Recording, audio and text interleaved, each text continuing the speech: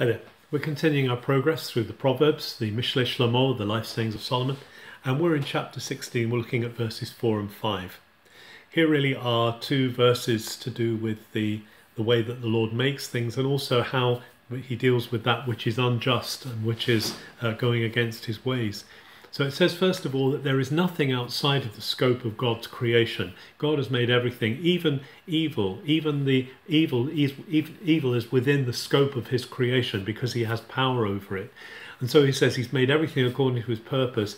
And even those who are wicked will actually be under his control, and he's not wickedness is not out of control with God. There will be uh, there will be a payback. There will be a just a, a moment of justice. We're all people who love justice, and we want to see injustice, um, we want to see injustice sorted out, put right, and therefore God has the right to do that uh, with that where there is injustice.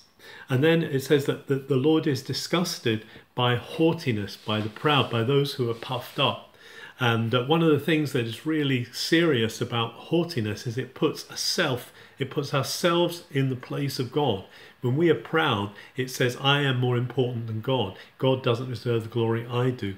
And what it says here is that that person will not be uh, nake, they will not be left um, innocent, they will not be left as if they were innocent. God will not turn a blind eye to what's going on. It's, as he revealed himself to Moses in Exodus 34, he says, uh, Nake lo yenake, I will not just ignore uh, I will not call what is bad good. I will not say that something's innocent when it's guilty. And that's what God's saying here. He's not going to turn a blind eye to those who put themselves in the place of God.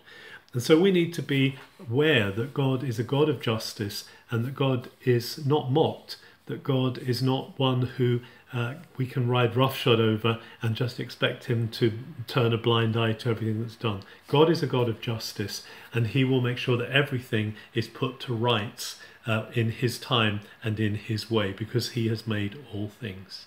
Have a good day.